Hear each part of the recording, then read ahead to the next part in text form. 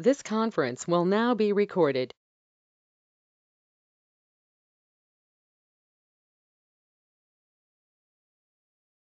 This conference will now be recorded. This conference will now be recorded.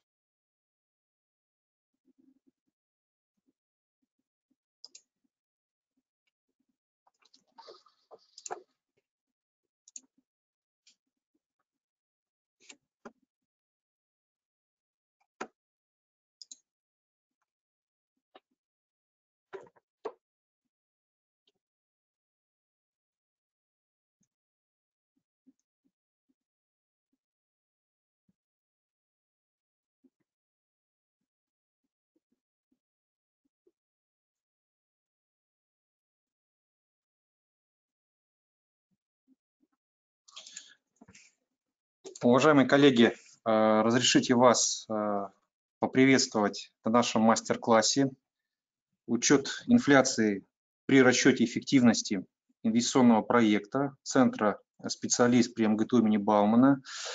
Меня зовут э, Диденко Аркадий. Я являюсь действующим бизнес-тренером по инвестиционному анализу и оценке стоимости компании.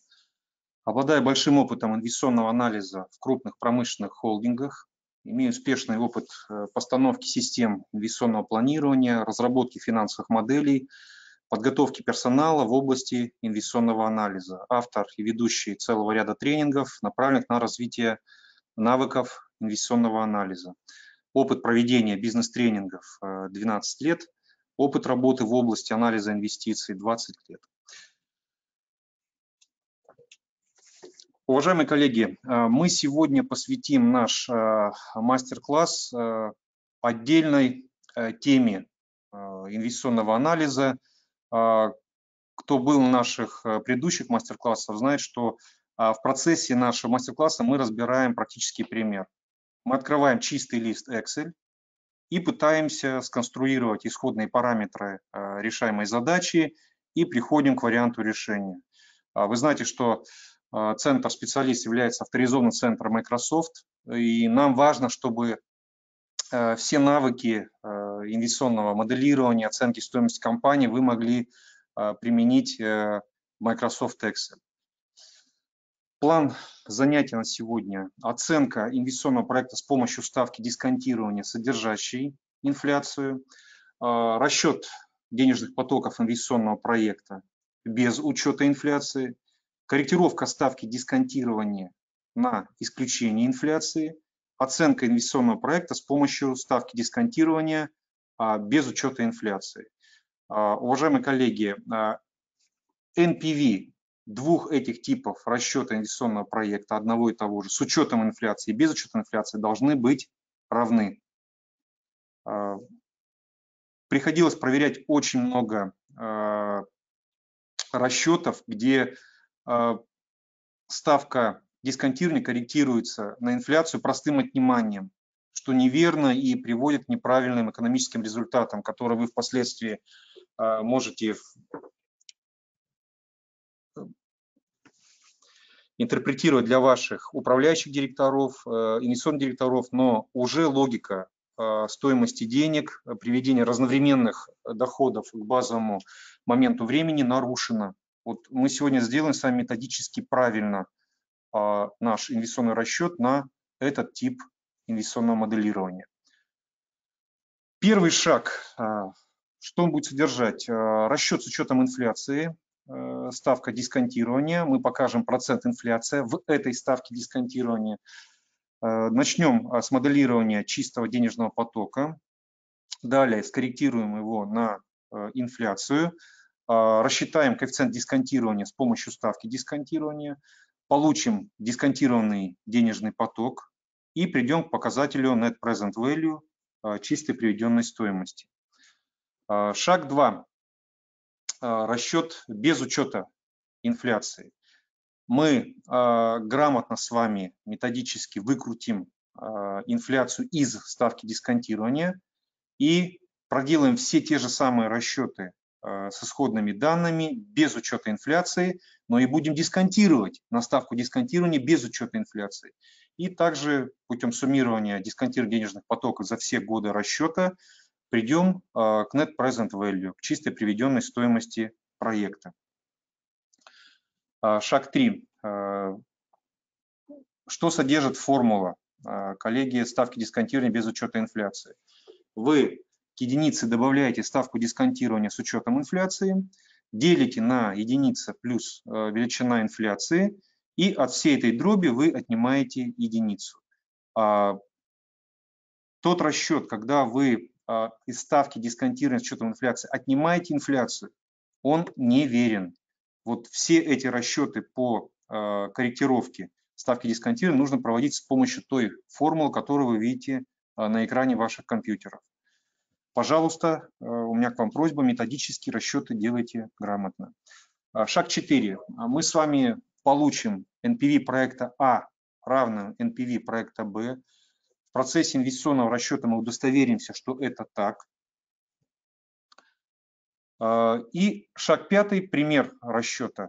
Мы с вами на чистом листе Excel, вы на своих компьютерах, я на своем, попробуем заполнить исходные данные и выполнить два расчета инвестиционного проекта вот в процессе нашего мастер-класса. У нас известны следующие данные по проекту. Чистый денежный поток, 4 года а, горизонт расчета, инвестиции 100 условных единиц и положительные операционные э, денежные потоки. Плюс 30 второй год расчета, плюс 50 третий год расчета Четвертый год расчета плюс 60. Ставка дисконтирования э, в нашем примере равна 15%. Это та ставка, э, по которой э, инвестиционный капитал, его доходность обходится нашим акционерам.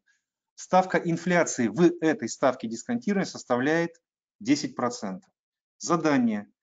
Рассчитать показатель NPV, чистой приведенной стоимости Net Present Value по проекту с учетом инфляции и без учета инфляции. Давайте сейчас с вами это рассчитаем. Я сейчас открою чистый лист Excel. Презентацию я перенесу на второй монитор, чтобы видеть исходные условия э, задачи. Так, и давайте с вами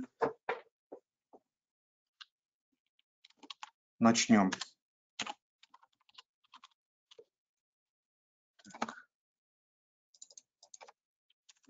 Уважаемые коллеги, у нас э, на наших мастер-классах есть чат, вы можете направлять вопросы свои да, по ходу наших действий, что мы делаем, что вам непонятно, на каком шаге остановиться. А, цель наших мастер-классов – досконально какие-то мини-кейсы разобрать, чтобы вы в прямом эфире видели, как это делается. И, конечно, все это направлено на то, чтобы вы владели этими методами инвестиционного анализа а, в среде Excel.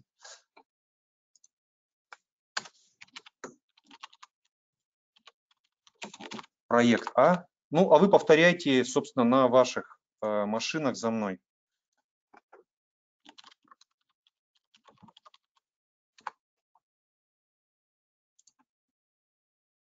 А, наименование.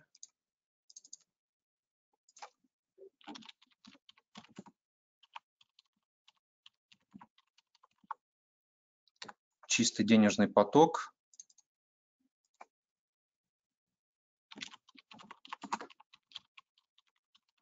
Ставка дисконтирования. Дисконтированный денежный поток.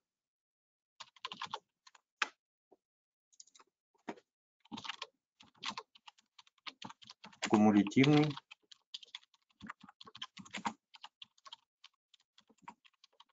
денежный поток. Ну, давайте там назовем не первый год, 2000 2020 год, 2021 год, 2022 год, 2023 год и какие-то наши с вами исходные данные, которые мы возьмем для этого примера. Шапочку нашу сделаем. Минус 100 единиц э, у нас инвестиции и 3 года положительных денежных потоков. 30, 50, 60 условных единиц. ставка дисконтирования у нас с вами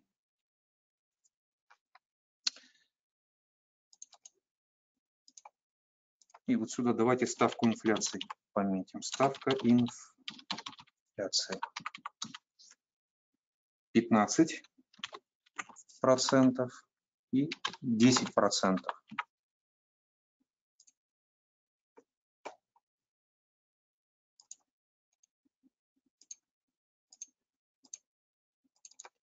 Чистый денежный поток без инфляции и чистый денежный поток с учетом инфляции.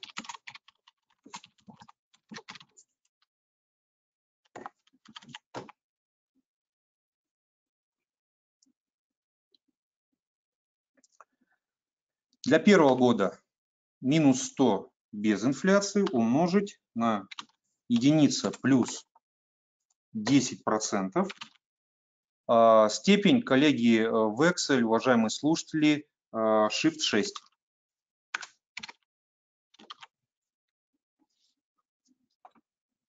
И вот здесь давайте подпишем. Первый год, второй, третий, четвертый. Мы полагаем для этого условного примера, что все денежные потоки мы с вами получаем в конце года. Давайте такую сделаем с вами а, оговорку. Зафиксируем ставку дисконтирования знаком доллара.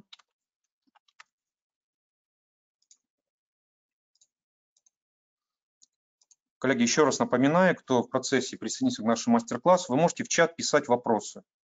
То есть спрашивайте вот любые примеры, да, мы в прямом эфире делаем. Открыли чистый лист Excel и пытаемся вот сконструировать какие-то инвестиционные кейсы. Я буду видеть, да, и буду отвечать по мере поступления. Так, 110 это будет с учетом инфляции. Далее давайте с вами продлим наши 12 сделаем. Шрифт у нас. То есть с учетом инфляции наши денежные потоки будут минус 110, 36,3, 66,55, 87, 846. Давайте сделаем один знак после запятой. А, как мы с вами получили а, 36,3 во второй год. У нас 30 – это без инфляции. Но у нас проект начинается в начале 2020 года, у нас пройдет 2020 год, 2021. Значит, что мы должны сделать? 30 умножить, единица плюс 10% в степени 2. И, например, для 2023 года, 4 года, у нас 60 без инфляции. Как получить с инфляцией величину? У нас прошло 4 года. Ставка инфляции 10% в год. То есть мы с вами должны 60 умножить единица плюс 10% в степени 4 будет 87,8.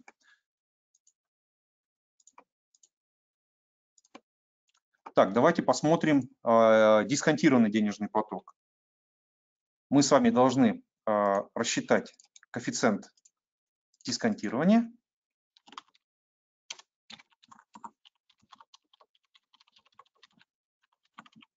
Чему он нас с вами равен? единица, деленная на единица плюс ставка дисконтирования в степени Shift 6 в степени 1. Все денежные потоки, напоминаю, в нашем примере приводятся на конец года. Мы инвестиционное решение принимаем на начало 2020 года. Поэтому дисконтируем первый год в степени 1, второй год в степень 2, третий год а, в степень 3 и четвертый год в степень 4. Давайте также с вами а, зафиксируем оставку дисконтирования.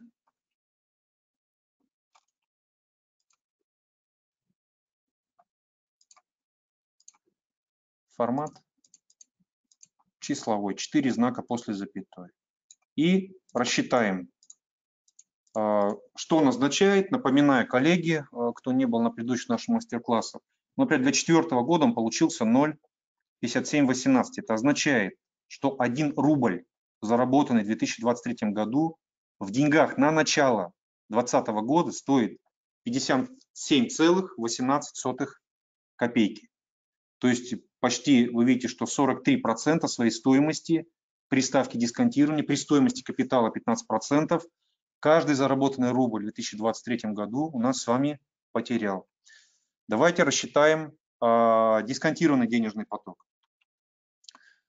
Что мы с вами делаем? Э, чисто денежный поток с учетом инфляции 110 мы с вами должны умножить на коэффициент дисконтирования. Продлеваем до конца. Давайте один знак после запятой. И давайте посмотрим, чему у нас равно NPV. Кумулятивно. То есть каждый последующий шаг а, учитывает изменения на предыдущем. За два года это будет минус 68,2 а, кумулятивно дисконтированный поток и продлим до трех лет. И чему у нас равен с вами NPV? Давайте его чуть ниже разместим. NPV равен 25 и 8. Красненьким выделим. 14 сделал 25 и 8. То есть чисто приведенная стоимость нашего проекта с учетом инфляции 25,8 а, единицы. А, коллеги, понятно, что мы делаем? А, спрашивайте, что непонятно в чате. Вот это мы получили первый расчет, проект А, с учетом, с учетом инфляции.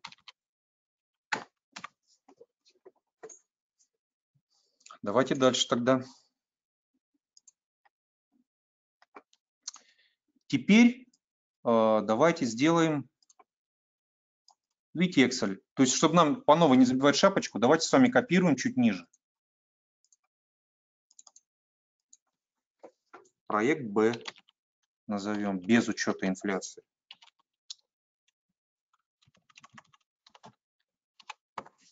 Без учета инфляции.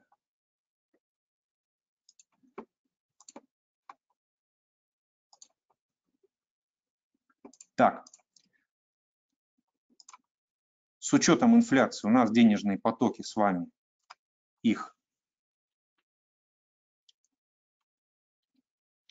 не будет. А ставку дисконтирования давайте с вами рассчитаем. Как мы с вами рассчитаем? А вот по этой формуле. А, давайте я снова перейду а, презентации на этом экране. Посмотрите, коллеги. А, ставка дисконтирования равна единице плюс ставка дисконтирования с учетом инфляции разделить на единица плюс а, величина инфляции в скобочках минус 1.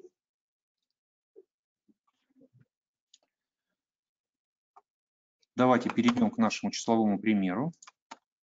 Давайте вот эту ставку попробуем сейчас рассчитать. Равно, скобка открывается, единица плюс 15% берем из верхнего с вами а, примера, разделить на единица плюс ставка инфляции 10% минус 1. И вы можете видеть, что она получилась, давайте два знака после запятой возьмем, я вот ее сделаю, давайте 14 жирным. 4,55, уважаемые коллеги. 4,55. А почему? Потому что а, просто отнять. Вот видите, у нас ставка дисконтирования 15%, ставка инфляции 10, 15 минус 10, да, напрашивается простая логика. Получится 5.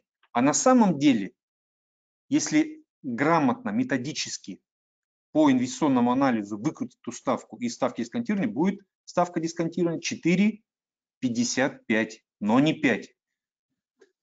Этот шаг мы с вами проделали. Ну и теперь давайте э, рассчитаем коэффициент дисконтирования с учетом нашей ставки без учета инфляции.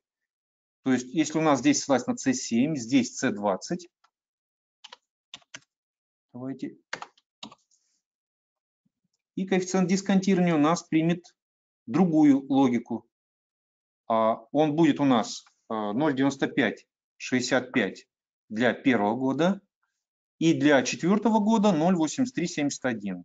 А, еще раз проговорю с вами эту логику. Что такое 0,8371 коэффициент дисконтирования в четвертый год?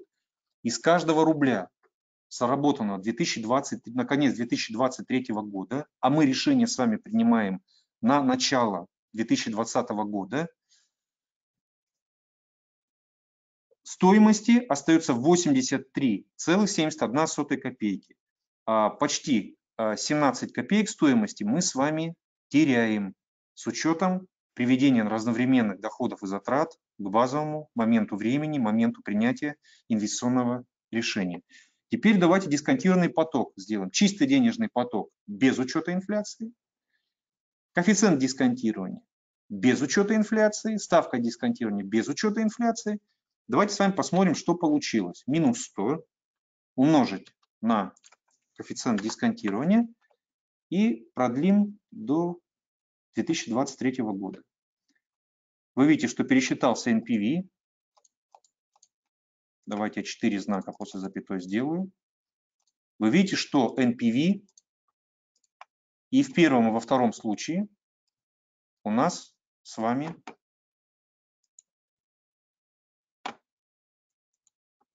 равны.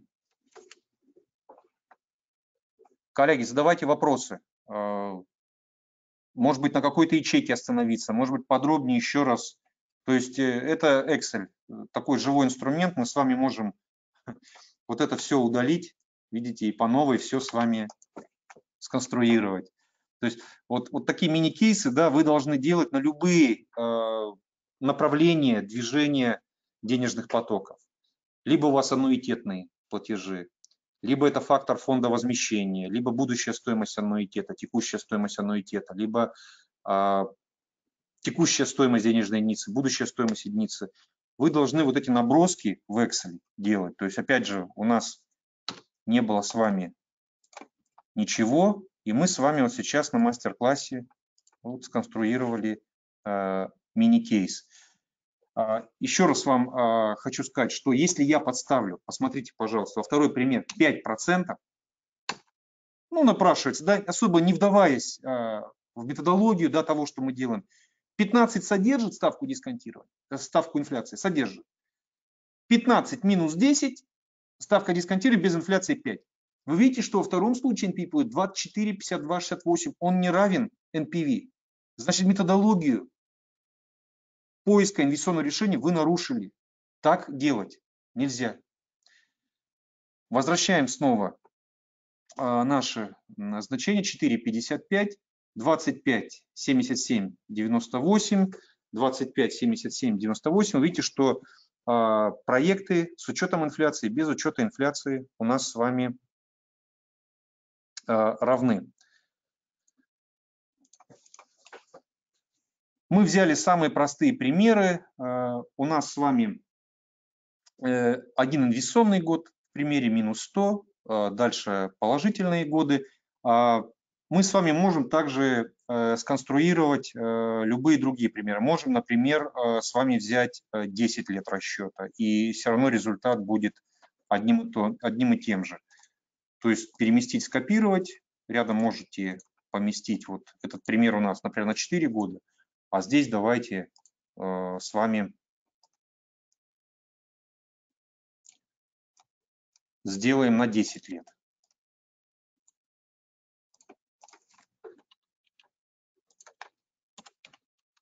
Плюс 1.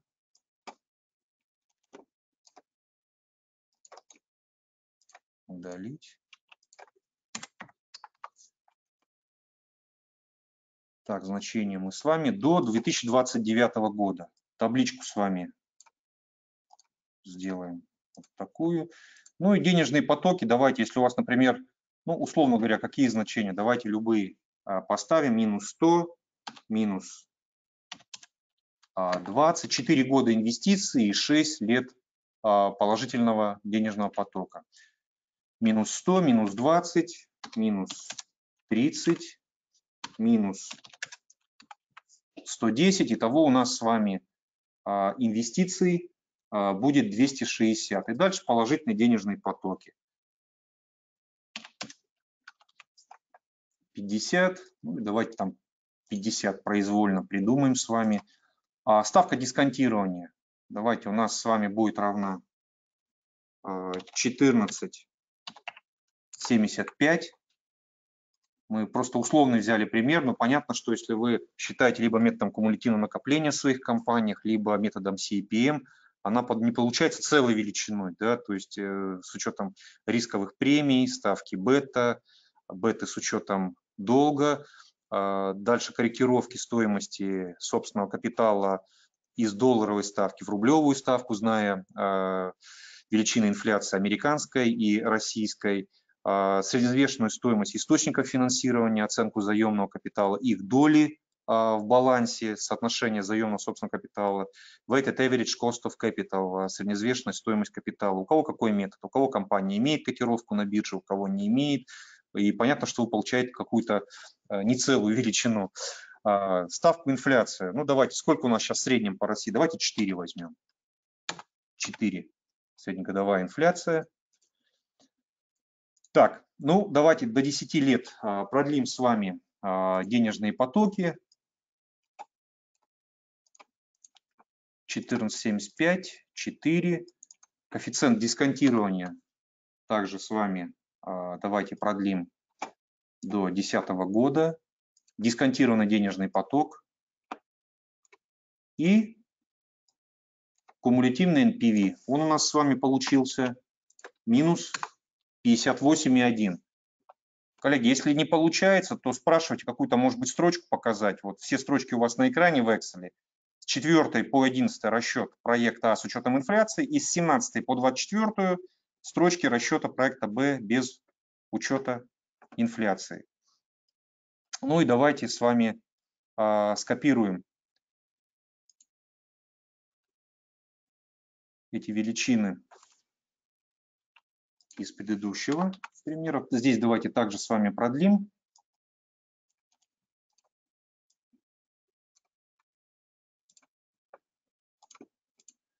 Так, эти значения скопируем вот так. Ну и ставка дисконтирования, коллеги, без учета инфляции получится здесь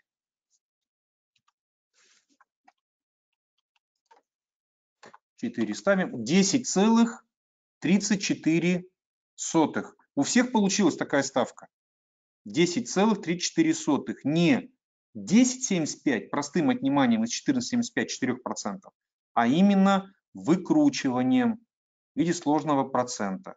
Будет 10,34. Так, давайте продлим с вами коэффициент дисконтирования по ставке 10,34. Дисконтированный э, денежный поток.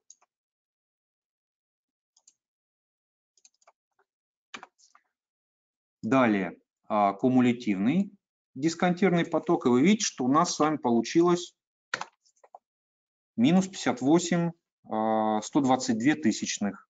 Вы видите, что эти проекты равны, неважно, сколько лет мы делаем. Если методически мы делаем все с вами правильно, у нас э, эти проекты будут равны. И опять же, если я э, бы рассчитал эту ставку равно 14,75 минус 4, 10,75, не зная вот этого правила инвестиционного расчета, я получил NPV минус 60 1806. Вы видите, что а, если вы в презентацию вставите такой расчет, то вы дезинформируете ваших акционеров, вашего инвестиционного директора, управляющего директора. Так делать нельзя. Опять возвращаю расчет. Методически правильная ставка для ставки дисконтирования 14,75 и ставки инфляции 4%, 10,34% без учета инфляции.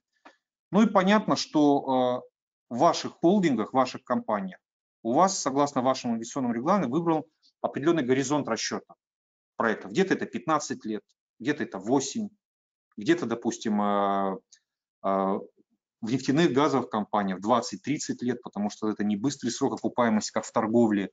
Машиностроение 15, легкая промышленность 12, Торговля, понятно, что вы будете пытаться это делать на более близких горизонтах расчета к моменту принятия инвестиционного решения 7-8 лет. А, Ну, повторюсь, опять же, у каждой компании, в зависимости от отрасли ее присутствия, свой горизонт расчета инвестиционных проектов.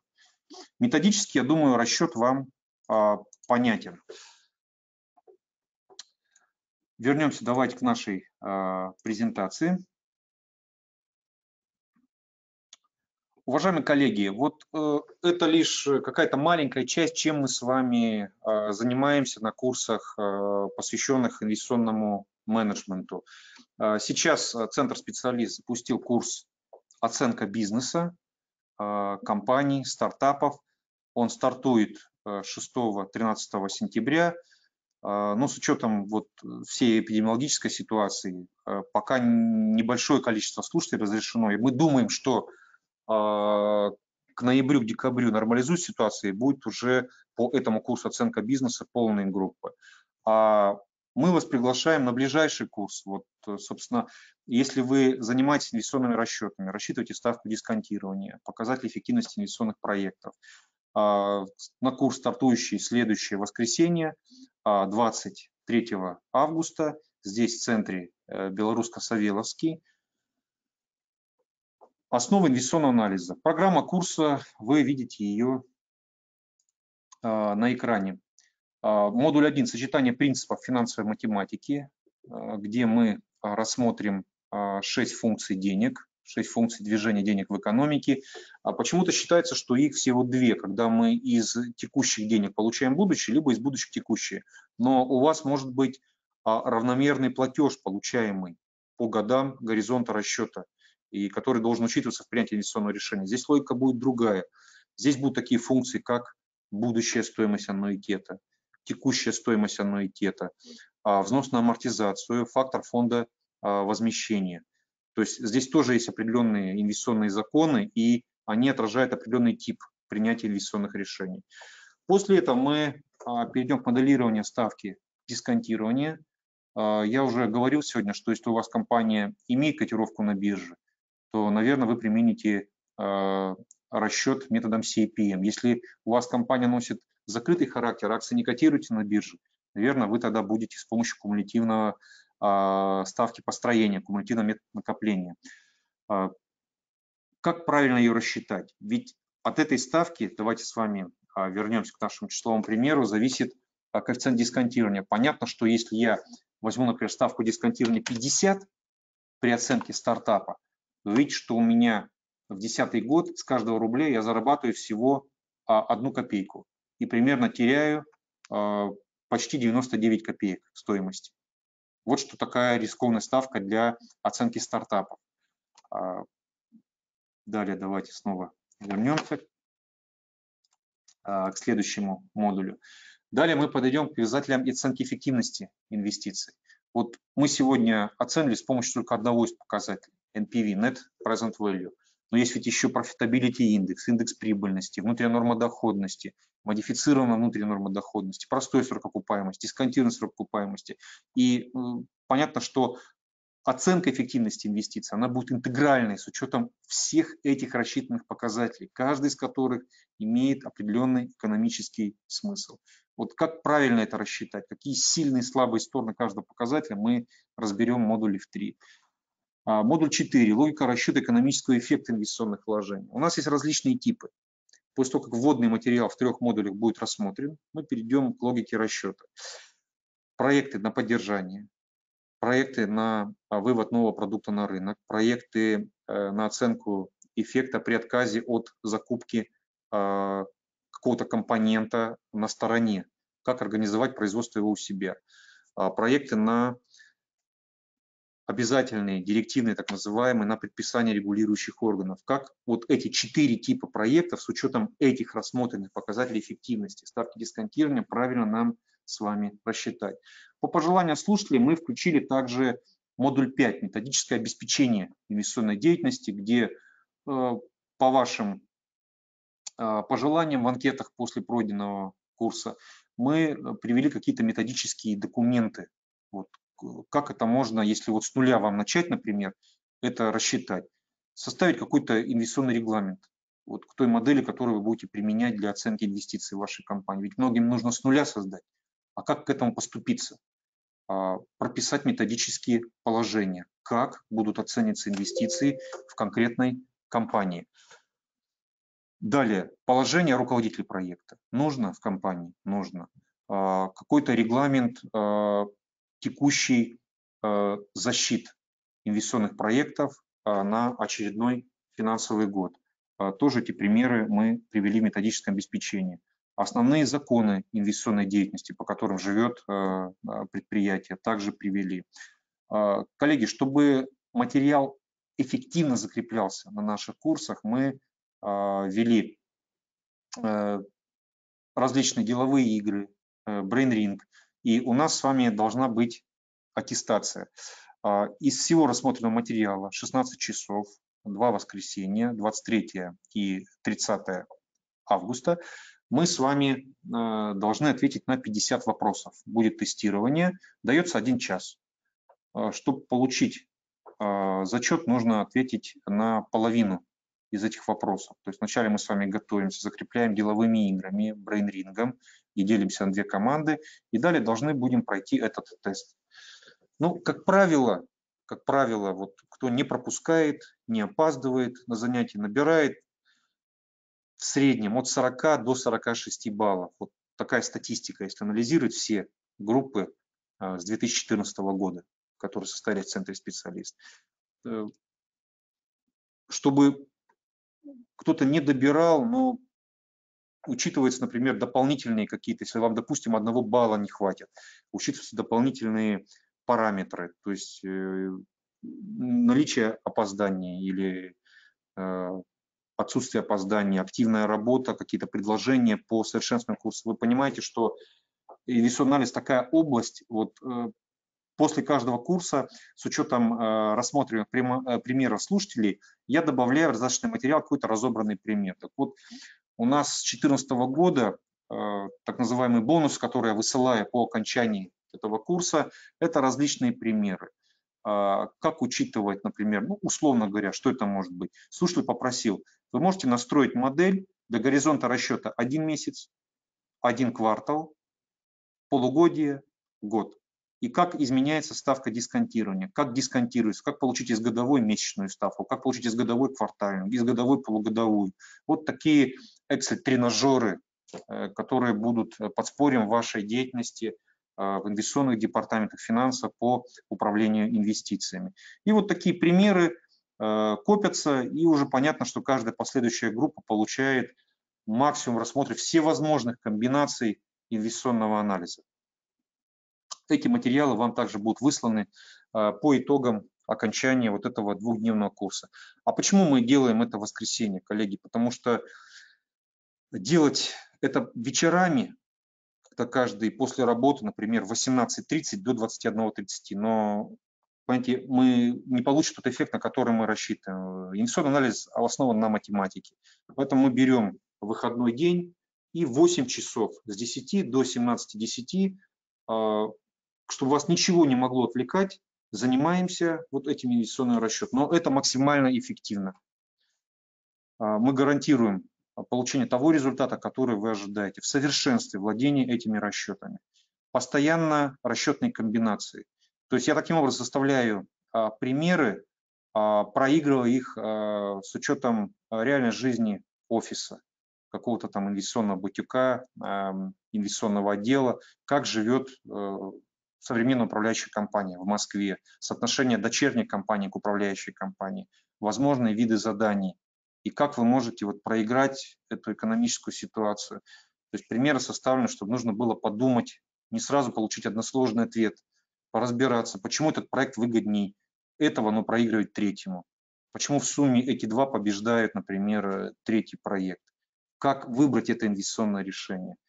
А, ну, еще раз повторюсь, что а, пройденный материал стоит того, чтобы вот пройти именно в нашем центре этот курс.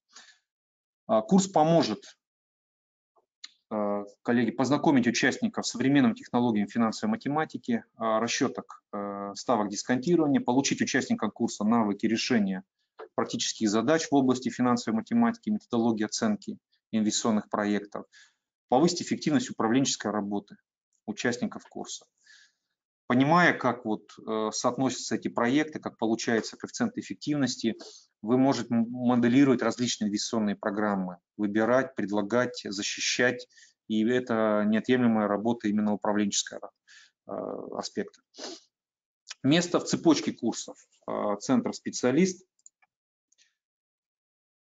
Уважаемые коллеги, мы рекомендуем для основы институциональной, чтобы вы владели Excel на базе первого уровня, чтобы могли перемножать ячейки, а, понять, как вот вбиваются эти данные, э, потому что остальным навыкам оптимизации решений мы на курсе научим.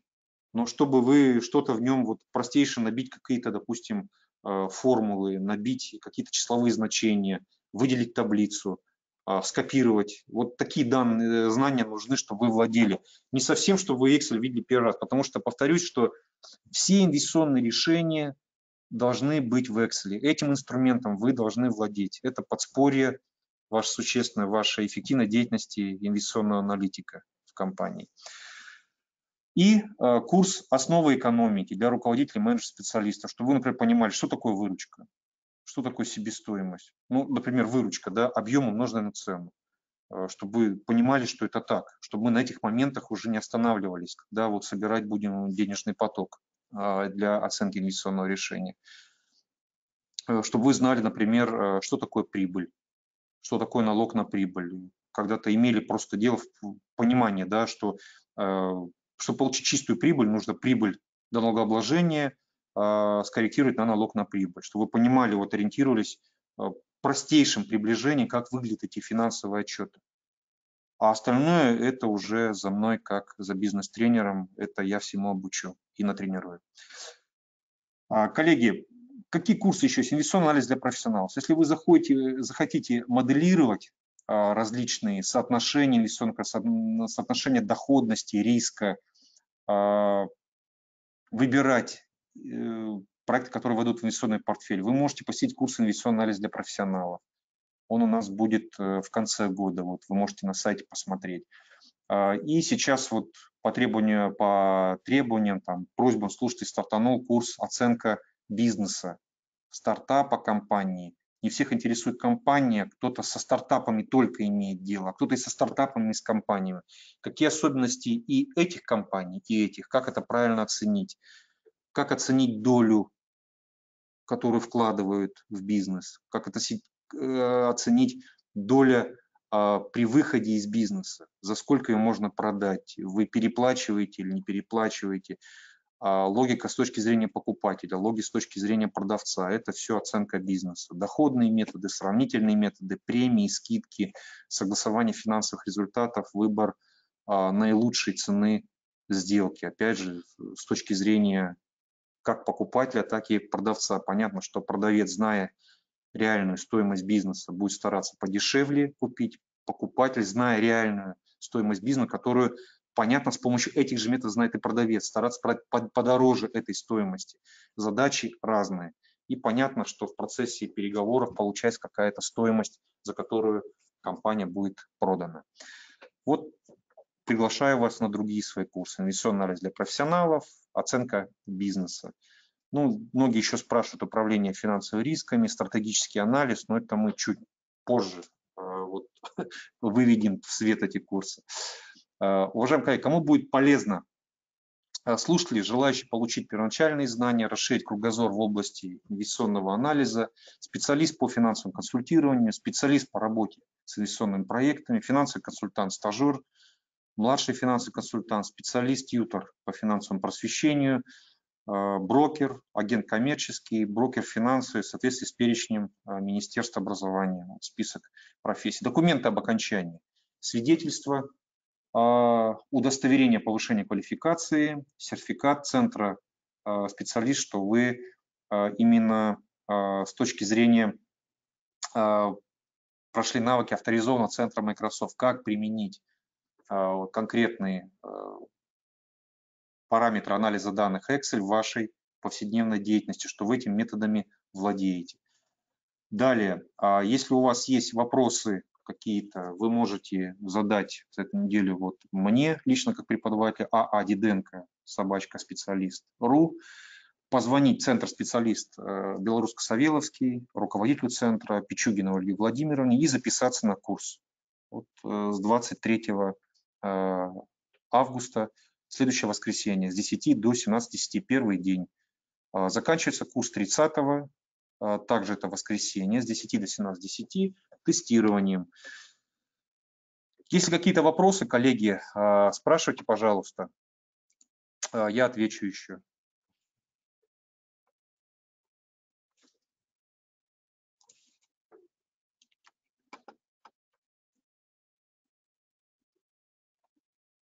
Приглашаю вас э, на обучение.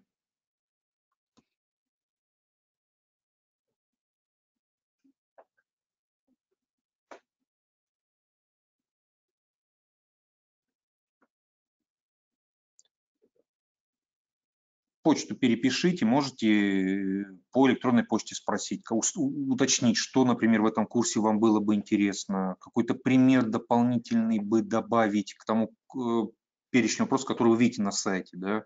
Там очень подробная программа, зайдите, основы инвест-анализа, центр специалист, а, уточните, и если вам будет это интересно, а, пожалуйста, записывайтесь э, у менеджеров Центра Белорусско-Савеловской. Буду рад видеть вас на своем занятии. Э, я закончил. Э, коллеги, спасибо вам большое, что вы прорешали вместе со мной вот эти примеры. Думаю, что вам этот аспект инвестиционного анализа будет полезен в вашей деятельности, потому что кто-то считает с инфляцией инвестиционный проект, кто-то без инфляции. Большое вам спасибо за пройденный курс. Спасибо, Андрей.